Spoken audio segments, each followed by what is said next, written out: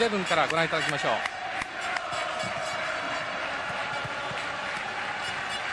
情報としてお伝えしておきますと先を伊藤照義城昌司森岡茂広永裕二中田英寿そしてのオマール・アティクがリベロ出場停止明けで戻ってきました。そして4番ストッパーですがアディル・ムハイにこのアディル前に変則ツートップになるはずですがいきなり打ってきました。これはあらかじめ決めてあったことですかね。サッカーは前園です、まあ、こういった立ち上がりのセットプレーというのも非常にチャンスですよね。白井も上がっている。飛び込んだがゴールキックに変わります。宮を狙ってきました。菊池が応えに行きました。さああっと危なかったこれが川口最初のボールタッチでした。さあちょっとしたピンチになった。ミドルシュートです。先ほどのプレーから少しオマーンが自信を。さあ前園のセットプレーです。裏へ出してきた。テビングシュート！いい形でしたジョー。今のはぴったりと合いましたけどね。スペースへ出しました。さあ対応に行く日本。逆サイドだ。危ない。と日本危なかった。7番の旅前園。非常にしたクリーンアタックキーパー出てきた。あっとキーパーが足を仕掛けた。PK ペナルティーキックジョー倒されましたが日本ペナルティーあの怪我等の何か森岡君になければいいんですけどね。さあ PK 加藤さん。読んでください。これはキーパーから見て左側ですかね。あ入った前園決めました日本1点先行。前半の19分。笑う顔にもゆとり。体を入れる。森岡。ワンツーを使った。いいですね。いい形だマイナスのセンタリングだ。惜しかった日流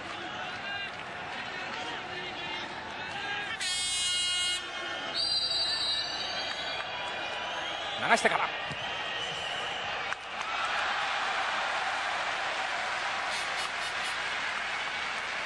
川口。さあ日本のベンチのその後ですがまだ動きはコーナーキックです、まあ、今ちょっと体の疲れも感じ始めているはずですが日本要注意。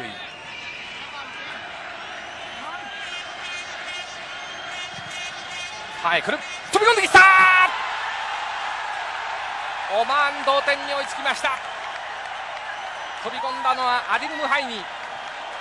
高かった。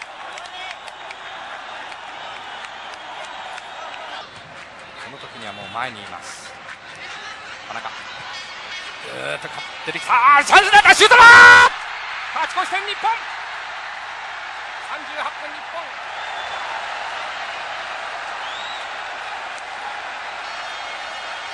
前。あいいカットですね。前園インサインターセプトから。中田が入ってくる。前園に任した。伊藤が来る。伊藤のシュートだ。もう一つ。中田最後は合わせましたがいい形になった。中田が右だ打つ。外側です。まあ今相手の一人ディフェンダーがいなかったことによってね非常に得意のドリブル。放り込んできた。速いボールだ。合わせた。上ですね。日本。3点目。女王らしいプレーでした改めてもう一度女王を使う。オフサイドではありません。右流れの中田。マイナスのシュートが。マイナスのセンタリングは。ちょっと最初のファーストコントロールが長かったですね。さあ日本ボール。また攻めます。菊池。放り込んできた。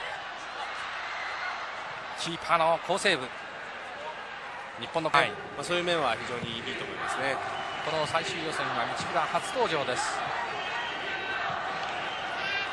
さあシュートチャンスになったぞ。危なかった。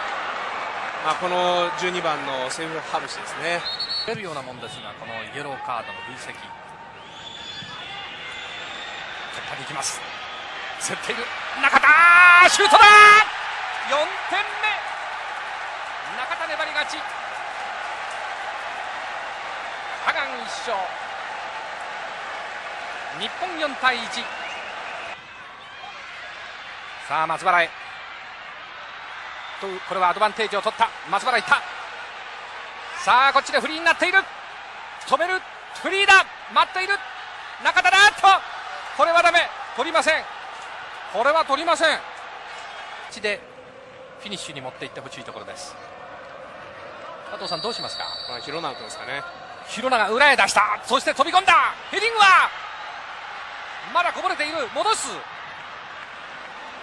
ホイッスルはありませんでした。何かちょっと躊躇してしまったようなところがあんまりうまくいきすぎましたか。そうですね。もうで最後の笛を聞かないといけません。こぼれ球はまだチャンスがある。シュートだ。一木の左足でしたが放り込んできた中田だ。道木入るうっと道木チャンスになる。センタリング出す。シュート打った。またしても松原。